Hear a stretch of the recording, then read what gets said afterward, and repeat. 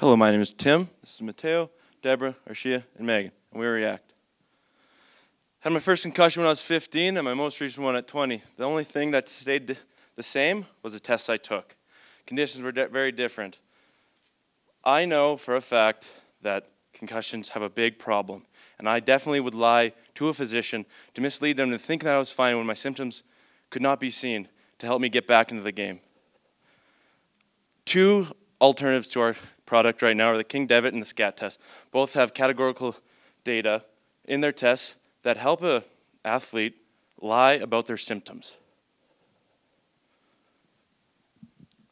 Our solution is an app that tested before the hit at baseline and then tested again afterwards. So the difference is we measure reaction time and cognitive awareness before and after and compare them to see if there's any indication of a potential concussion. Our solution, if it detects a potential concussion, it will direct you to the nearest clinician where you'll be diagnosed further by a professional. Our goal is to get you diagnosed as soon as possible to prevent further injury. Our three profiles that we're focusing on are based on um, three psychosocial profiles. First would be the buyers, and they are our parents and our parent coaches. So they're the ones that pay the hockey fees at the beginning of the season every season, and they want part of those fees to go towards protecting their child while they're on the ice. Our users are the hockey players themselves. They're the, they'll be the ones that actually use our app and have the baseline test and the test afterwards. Uh, they're the ones pursuing their hockey dream and the ones who have the problem in the first place. Product development will begin in April 2019. Then a medical license and a patent will be applied to for the process of the software. In September, marketing campaigns will begin to gain traction and to allow teams to budget in for our product.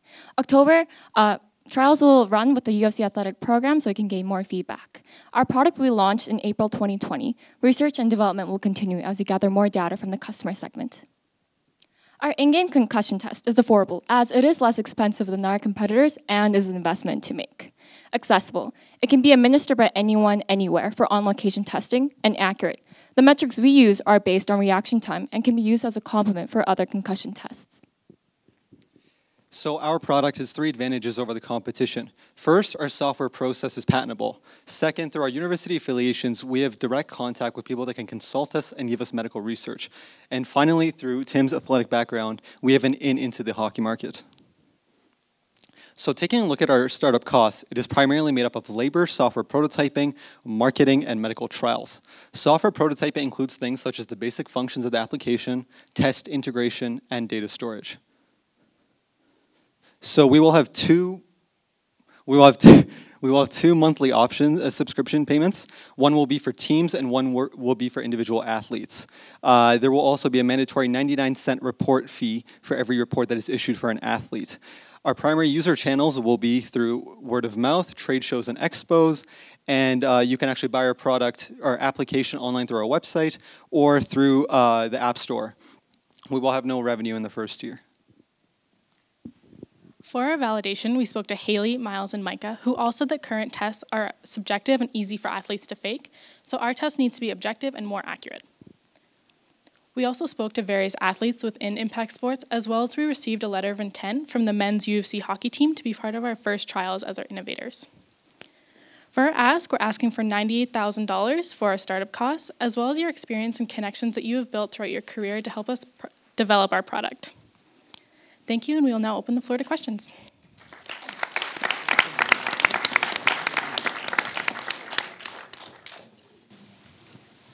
Hi, great presentation. Um, just wondering if you could kind of walk me through the testing that you'd normally take versus this online testing, how the accuracy of it will pinpoint to a concussion. Great question. Uh, I played in the Western Hockey League for five years, and we were always um, exposed to one in-game test and that test was called the SCAT test. Now, the physician or your trainer would administer this test, and they would ask you, how's your headache? Well, what's the difference between on a scale of 1 to 10 or 4 or 5, right? So that was the only test we had, measurement and the memorization of uh, doing the alphabet backwards, and I don't know if I could do it correctly right now. so, so, in that point, we, our goal was to identify a concussion a little bit better than that. So our metrics aren't based on scaling your headache or one to five, or does the lights make you dizzy? Well, if you're gonna stare at a light, it's probably gonna make you a little dizzy. Um, so that's kind of our goal, if that answers your question, sorry.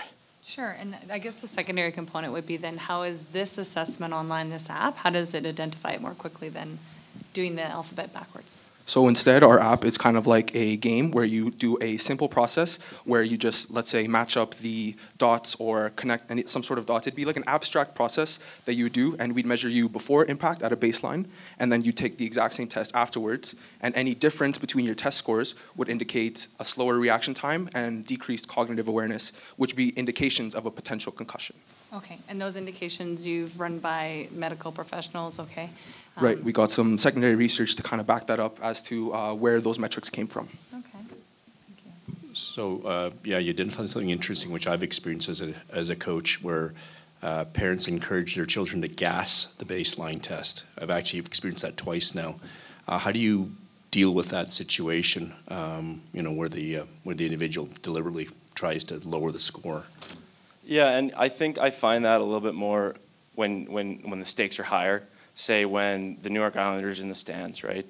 I think at that point, when, when we're targeting our early adopters as in minor hockey, we can get them a little bit more educated about, okay, this is what's going to happen. These are the side effects. You know, maybe a little bit more engaged on the fact of maybe more informational education just for the parents like your guys' self, I'm sure. So I think if the baseline test gets thrown, I mean, there isn't a very definitive way to show that they're lying for sure. But many uh, the secondary like Mike Kareem said, um, if you're if you're if you're doing that in your own situation, especially in major junior, he really didn't say too much about our early adopters and young kids throwing the test. But that that's a good question to definitely to look into. Yeah, I, I would suggest you do some research because you could probably gamify it and uh, use high reaction times to alternate. Um, anyways, it's something. Okay, so Absolutely, thank you. Um, I saw that you had a, uh, oh. I saw that you had a kind of like a one-year um, validation period where, you, and you were going to be in market at that point. I was wondering um, if you think that it, why you think that it's possible to validate that this is an effective means of testing this, and kind of uh, get enough information to prove that that's the case, that it works, and then get people to adopt it within one year. Very, very, very good question. And uh, we were the first semester for this class. So, and I know we didn't really think anything past it one year. And uh, so we were talking downstairs, and Arshia mentioned it, that our timeline is very, very inaccurate. Like, it's going to take more than a one year. And, and I think we all agree on that. And we, we couldn't change our slides to begin with. So I know it's, is, you see what you get, but I agree. It's, it's very inaccurate, but that's what we have so far. Have you uh, considered talking to Hockey Canada or some of the sports associations to sort of take a top-down approach to get, you know, leagues, uh, uh, various different age age groups to kind of adopt this? Yeah, uh, we- same approach too for football or any other contact sports. Absolutely, and um, one of the things with the available means for this class, and I was a hockey player, and actually one of our assistant coaches is head of hockey development or Hockey Canada in, in the education, uh, Pierre uh, Poulin, and he uh, let me talk to the insurance guy who deals with Hockey Canada, and they they get passed on with uh, lots of different ideas, but it's the insurance background of it. Um, we were more talking about um, getting going to like tournaments, trying to talk to um, awareness to like parents. Maybe they want to try the idea. But right now, Hockey Canada is maybe the end goal for sure. Maybe get it administered uh, nationwide. But right now, we're trying to look for those early adopters like our uh, early parents.